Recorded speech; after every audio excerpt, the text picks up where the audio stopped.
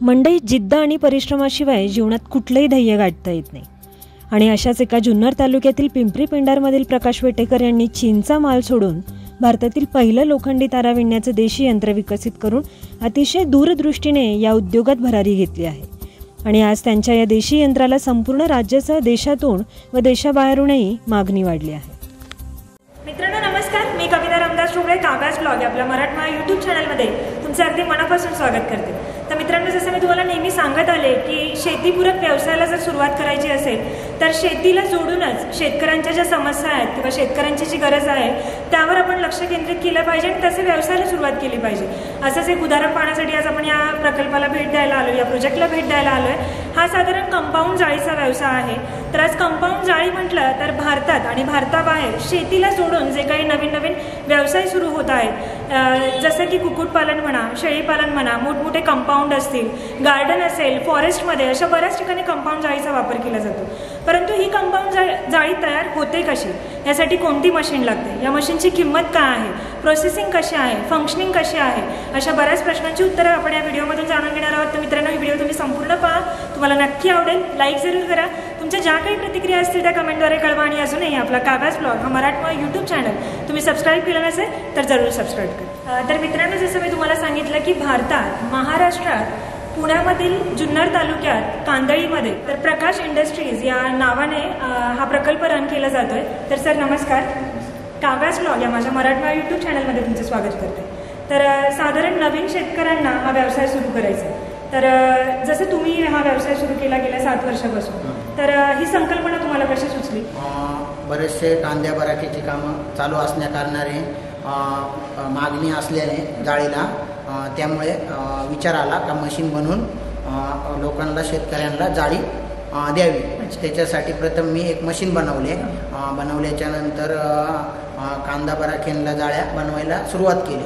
Manually machine बनवली. बराखेनला जाळ्या बनव बनवताना खूप मागणी वाढली. मागणी वाढल्याच्या नंतर नंतर तीन मशीन केले.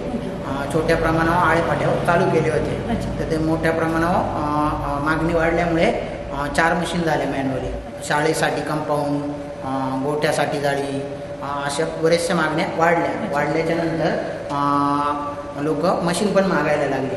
मग एक मशीन मित्रालाच दिले शिरोरला. त्याच्यानंतर कळालं का मशीन पण विकू शकतं.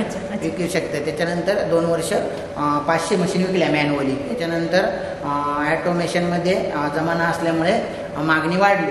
मागणी वाढल्याच्या नंतर एक ॲटोमॅटिक मशीन बनवले त्याची पण पूर्ण भारतात Karnataka Tamil Nadu Goa Rajasthan all India machine विकल्या. विकल्याच्या नंतर नंतर पुन्हा डेव्हलपमेंटमध्ये वाढ झाली. मागणी वाढली झाली परत जास्त प्रमाणावर. त्याच्यानंतर आम्ही डबल वायरचं मशीन बनवलं.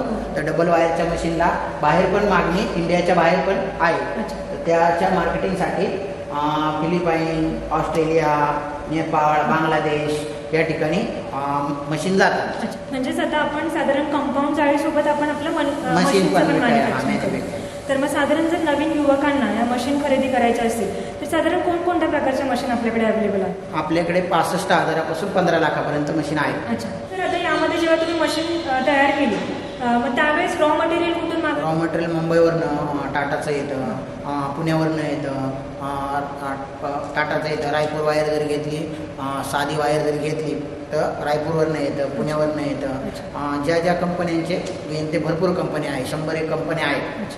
तर साधारण कोणकोणत्या प्रकारचे रॉ मटेरियल आपल्याकडे अवेलेबल आहे आपल्याकडे सोळा गेजपासून जी आय वायर सोळा गेज ते आठ गेजपर्यंत आहे. आणि दुसरं पी व्ही सी कोटिंग आहे स्टील वायर आहे भरपूर प्रकारचे मटेरियल आहे. सर जसं की आपल्याकडे वेगवेगळ्या प्रकारच्या मशीन आहेत तर मग आपण त्या मशीनद्वारे कोणकोणत्या प्रकारच्या जाळ्या तयार करून देतो?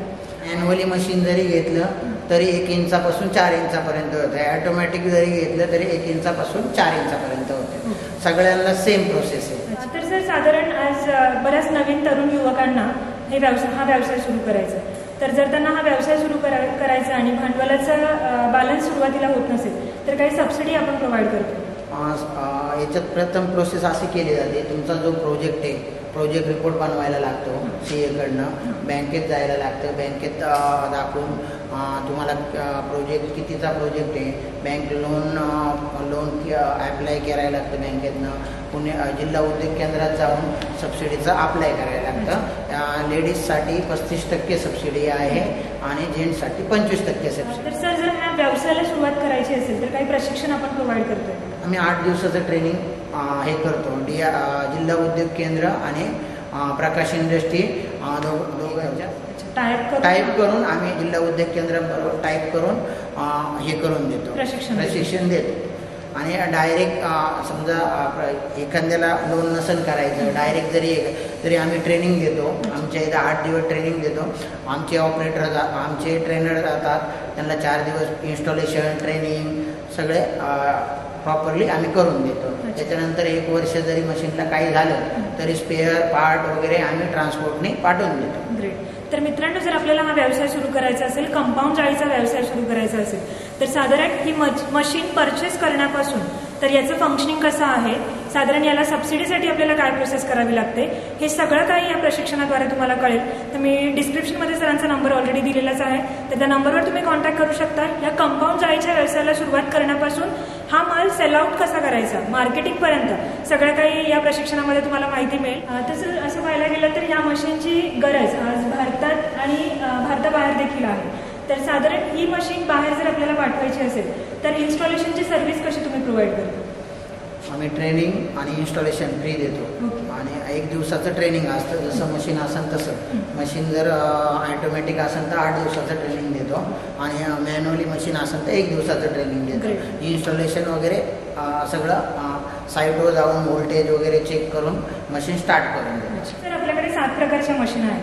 तर तरुण युवकांनी सुरुवात करताना कोणती मशीन परचेस करावी? बजेटनुसार जसं डोंगराळ भाग असेल किंवा सिटी एरिया आहे आपले किती कॅपॅसिटी आहे वायर आहे किती सेल होऊ शकतो त्याचा पूर्णपणे अभ्यास करून तरुणांनी मशीन घ्यावी मित्रांनो एक मराठी माणूस म्हणून नक्कीच एक अभिमानास्पद गोष्ट आहे की यांनी यांच्या व्यवसायाला सुरुवात केली. कंपाऊंड जाळीचा व्यवसाय सुरू केला आणि त्यानंतर शेतकरी तरुण शेतकऱ्यांची गरज पाहून म्हणजे जर व्यवसायाला सुरुवात करायची असेल तर आपल्याकडे मशीन हवी. तर त्यांनी मशीनचं मॅन्युफॅक्चरिंग स्टार्ट केलं आणि आज हा मशीन सेलिंग करण्याचा जो व्यवसाय आहे अगदी अभिमानास्पद आहे. तर नक्कीच माझ्या संपूर्ण परिवाराकडून कागज ब्लॉग या संपूर्ण परिवाराकडून सर तुम्हाला खूप खूप शुभेच्छा. नक्कीच नवीन युवकांना तुम्ही एक दिशादर्शक असाल आणि नवीन व्यवसाय सुरू करण्यासाठी नक्कीच तुम्ही खूप सुंदर असं मार्गदर्शन कराल. तर मित्रांनो आजवर कंपाऊंड जाळीचा व्यवसाय सुरू करायचा असेल तर युवक हे चायनावरून या मशीन इम्पोर्ट करत होते. परंतु आत्ता ही जी अत्याधुनिक मशीन आहे ही भारतातील पहिली अत्याधुनिक मशीन आहे. आणि आज गर्व वाटतोय की भारतातील महाराष्ट्रातील जुन्नर तालुक्यातील कांदळीमधील हा पहिला प्रयोग आहे.